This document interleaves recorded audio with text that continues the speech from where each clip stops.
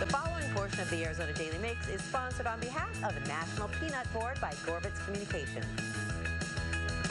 Did you know peanut allergies are highly preventable? Best-selling author and pediatric registered dietitian Malina Malkani is sharing the current guidelines on peanut allergy prevention and more information about a new health education tool designed to help parents stop peanut allergies before they start.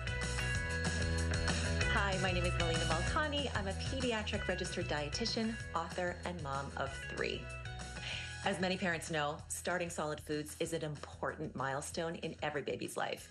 And with this milestone also comes the importance of introducing common allergens like peanuts to help prevent food allergies.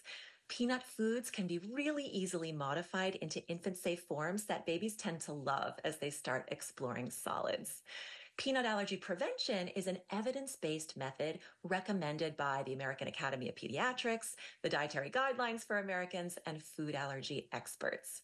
By introducing small amounts of peanut foods to infants at the right stage of their development, typically between four and six months to start, parents and caregivers can not only reduce the chance that their child will develop a peanut allergy, as well as the burden that peanut allergies bring to families, but they'll also inspire their children to eat adventurously for life.